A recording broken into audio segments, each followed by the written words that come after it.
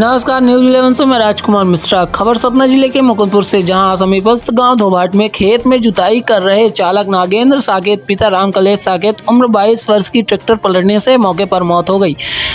मौके पर ताला थाना पुलिस पहुंचकर शव को निकलवाया गया, लेकिन परिवारजन ट्रैक्टर मालिक के विरुद्ध एफआईआर दर्ज कराने के लिए मांग करने लगे और शव को लाकर चौकी मुकुंदपुर के समीप रख रास्ता जाम कर दिया। पुलिस की समझाइश के बाद परिजनों को शव को पीएम के लिए भेजा गया और मौके पर मौजूद पुलिस चौकी प्रभारी एपी तिवारी एवं वरिष्ठ एसओ थाना ताला अरुण कुमार मारकोल एवं एस ओ रामपुर मनोज सोनी रहे मौजूद। लड़का खत्म हुआ है क्या आप उसके कौन से परिजन आए हैं कि आप पिता वो लड़का है लड़का है।